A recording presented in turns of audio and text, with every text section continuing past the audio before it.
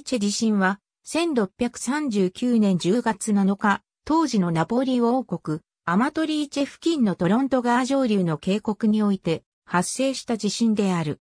カルロ・ティベリ・ロマーノによる報告書、マトリーチェ及びその領土における恐ろしい地震についての新しく信頼できる報告地震の揺れは15分続き、約500人が死亡した。損害は当時の金額で40万から100万スクード相当と推定されている。オルシーニ家の一族は地震により破壊された町から避難した。10月14日には強い余震が発生した。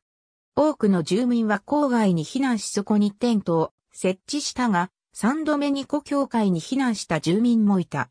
全壊したまたは大きな被害を受けた建物には、オルシーニ家の邸宅、軍司令部、聖十字架教会、他の住居が含まれていた。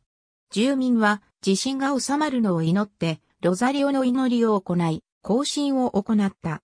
この地震により、当時の主な収入源であった地中市にも大きな被害があったため、アマトリーチェは、ローマやアスコリピチェーノへの人口の流出を余儀なくされた。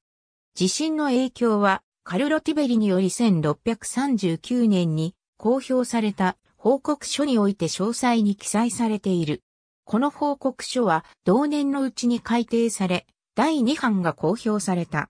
イタリアは同じヨーロッパのギリシャやトルコと同様に地震の多い国であり、古代、中世以降の地震被害の記録が数多く残されている。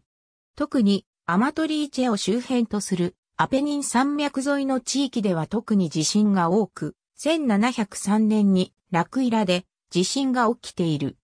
イタリアで地震が多いのは、端的に言えば、ユーラシアプレートとアフリカプレートの境界部分にあたり、断層が多いためであるが、この地域は地質構造が日本以上に複雑で、単純なプレートの沈み込みなどでは説明できない。ありがとうございます。